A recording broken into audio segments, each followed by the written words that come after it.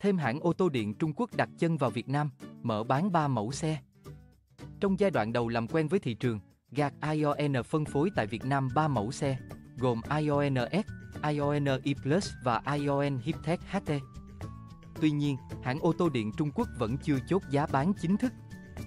Sau thời gian khá dài nghiên cứu thị trường, GAC ION vừa nối tiếp BIR, chính thức trở thành thương hiệu ô tô điện tiếp theo đặt chân vào Việt Nam. Trong giai đoạn đầu, hãng xe Trung Quốc sẽ mở bán 3 mẫu xe, bao gồm iONs, S, ION E Plus và ION Hiptech HT, trải đều ở 3 phân khúc khác nhau. Trong đó, đáng chú ý nhất phải kể đến ION E Plus. Cái tên đã được người Việt đồn đoán nhiều trước khi công bố bán chính thức. Theo định vị của hãng, E Plus với kích thước dài, rộng, cao lần lượt 4.535x1870x1650 mm, cùng chiều dài cơ sở 2750mm, xếp chung nhóm SUV, crossover cỡ trung. Ngoài ra, nhóm xe xăng cùng phân hạng cũng có nhiều đối thủ đáng gờm như Mazda CX-5, Honda CR-V hay Hyundai Tucson. Aion E Plus định vị ở nhóm SUV, crossover cỡ trung và sẽ là mẫu xe chủ lực của hãng trong giai đoạn đầu mở bán tại Việt Nam. Aion E Plus sở hữu thiết kế khá tinh giản, ngoại thất xe nổi bật với hệ thống đèn chiếu sáng ban ngày phía trước tạo hình đôi cánh thiên thần có tính nhận diện cao. Nội thất xe mang xu hướng công nghệ với cụm đồng hồ kỹ thuật số 10. 25 inch, màn hình giải trí 14,6 inch kết nối Apple CarPlay, hệ thống camera quan sát lên đến 540 độ, đèn nội thất LED Ambient Light 32 màu và hệ thống âm thanh 6 loa JP Bongiovi. Ngoài ra, mẫu xe này cũng gây chú ý với khoảng để chân hàng ghế hai rộng vượt trội, hệ thống cửa mở gần như 90 độ, cửa sổ trời toàn cảnh, khoang hành lý có thể gập ghế tăng dung tích lên đến 1.200 lít và hàng ghế trước có thể ngã lưng hoàn toàn. Về vận hành, E Plus sử dụng động cơ điện kết hợp khối pin khối pin 63,2 kWh cho công suất tối đa 204 mã lực và mô men xoắn 225 Nm. xe có phạm vi hoạt động tiêu chuẩn 490 km. Hãng tặng kèm hai bộ sạc cầm tay.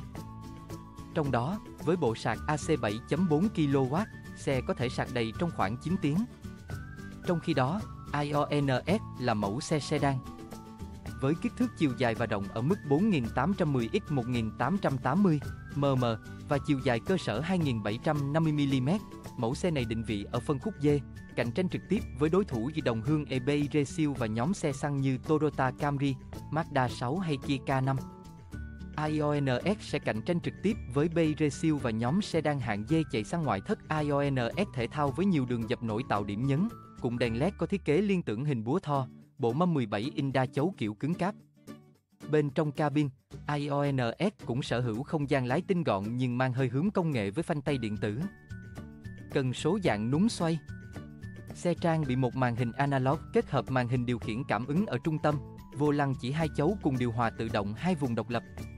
Ở khả năng vận hành, IONS sử dụng bộ pin LFP có công suất 55.2 kWh, sản sinh công suất tối đa 134 mã lực và mô men xoắn 225 nanomet với khả năng di chuyển tối đa 440 km trong một lần sạc. Bên cạnh hai mẫu xe hướng đến nhóm khách hàng phổ thông, trong đợt đầu ra mắt thị trường, ION cũng mở bán thêm mẫu dây xe chơi Hiptech HT. Đây là mẫu xe hiệu suất cao, hướng đến nhóm khách hàng trẻ cá tính, yêu thích trải nghiệm lái phấn khích. Khác với hai mẫu xe e đàn em, ION Hiptech HT mang phong cách xe chơi, hướng đến nhóm khách trẻ, yêu thích trải nghiệm do đó, điểm nhấn của xe nằm ở khả năng vận hành với công suất lớn cùng quãng đường di chuyển tương đối ấn tượng. Cụ thể, phiên bản Hiptech HT tiêu chuẩn sử dụng bộ pin LFP 70 kWh cho phạm vi hoạt động lên đến 550 km mỗi lần sạc đầy. Hai phiên bản cao cấp hơn sử dụng bộ pin từ 72.7 kWh đến 93 kWh, có công suất lên đến 355 mã lực và mô men xoắn đạt 430 nanomet. Nhờ đó, mẫu xe này đạt khả năng tăng tốc từ 0 100 km trên giờ chỉ trong 5,8 giây và quãng đường di chuyển tối đa có thể lên đến 770 km. Bên cạnh vận hành, AION Hiptech HT cũng nổi bật ở ngoại hình với cửa sau thiết kế đóng, mở kiểu cánh chim, Gullwing, hoàn toàn tự động, không khác gì các dòng siêu xe thể thao.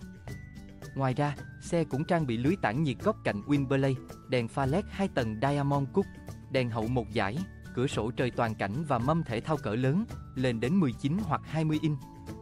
Bên trong cabin, Hiptech HT sở hữu nội thất đậm chất công nghệ với các chi tiết bọc da cao cấp, kính cách âm hai lớp, vô lăng đáy phẳng, màn hình trung tâm như chiếc máy tính bảng kích thước 14,6 inch. Hãng chưa công bố giá chính thức cho ba mẫu xe đầu tiên bán tại Việt Nam. Các lô này sẽ nhập trực tiếp từ Trung Quốc AION là thương hiệu xe điện chỉ mới thành lập từ năm 2017. Thế nhưng hiện đang đứng thứ ba trên toàn cầu về doanh số xe điện với gần 1,4 triệu xe đã bán ra, chỉ sau hai dĩ ông lớn BYD và Tesla. Tương tự Gag Motor vừa mở bán tại Việt Nam trước đó không lâu, AION cũng là thương hiệu con của tập đoàn Gag. Tuy nhiên, hai thương hiệu khác biệt nhau hoàn toàn về sản phẩm và nhà phân phối. Gag Motor xe xăng được phân phối bởi Tan Chông Việt Nam, trong khi AION bán xe thuần điện và do Harmony Việt Nam phụ trách. Hiện tại, nhà phân phối này chưa công bố giá xe chính thức. Trong giai đoạn đầu, cả ba mẫu E+, S và Hiptech HT đều được nhập khẩu trực tiếp từ Trung Quốc. Đồng nghĩa, giá bán những mẫu xe này có thể khó thấp như kỳ vọng của số đông. Phía đơn vị phân phối cũng cho biết, trước mắt chưa đặt nặng vấn đề doanh số. AION hiện tại mới chỉ có duy nhất đại lý tại thành phố Hồ Chí Minh đã đi vào hoạt động, vì vậy ưu tiên trước mắt của hãng là phát triển hệ thống phân phối, phấn đấu đến năm 2025 sẽ có khoảng 20 dung và tăng thêm 30 vào năm 2026.